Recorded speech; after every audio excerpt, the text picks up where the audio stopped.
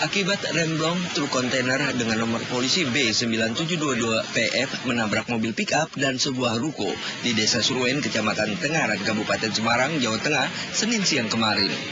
Menurut sopir kontainer Ruyatman warga Cirebon, Jawa Barat, kejadian bermula kontainer berjalan dari arah Salatiga menuju Solo.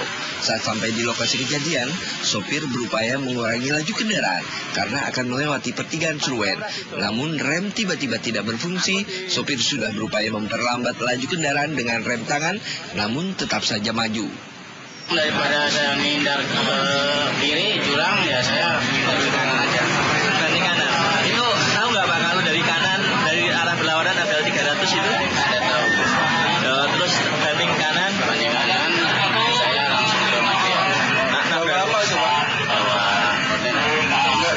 Muat apa itu? kain Kain. Dari mana dari Jakarta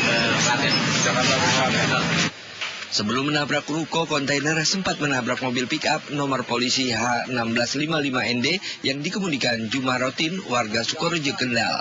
Beruntung tidak ada korban jiwa dalam kejadian ini. Sopir kontainer hanya luka ringan di kepala karena tertimpa reruntuhan ruko. Sedangkan sopir pick-up kaki terkilir karena terjepit kabin mobil.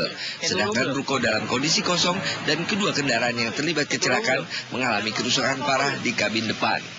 Akibat kecelakaan ini, Jalan Raya Solo Semarang dari kedua arah mengalami kemacetan karena banyak warga yang melihat kecelakaan ini. Kini kasus kecelakaan ditangani Satlantas Polres Semarang.